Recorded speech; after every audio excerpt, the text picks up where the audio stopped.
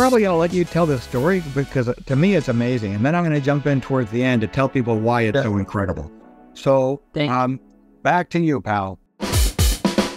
First of all, thank you. I get shy sometimes when you when you say it like that, but I appreciate it. I, I essentially grew up in Sweden, did my medical school. Initially, I got a research fellowship out of Harvard. And then so I came here just to do my research fellowship. And then once I stayed, I also decided to do an internal medicine residency program because here in America, just because you have an MD behind your name without a without any type of specialty doesn't really mean much. So I decided to do internal medicine and my research fellowship.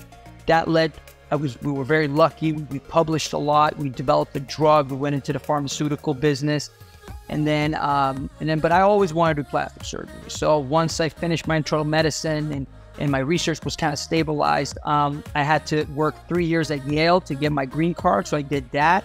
But once that was done and I was pretty much a green card holder, now I knew that I should apply for plastic surgery. That was always my vision and passion.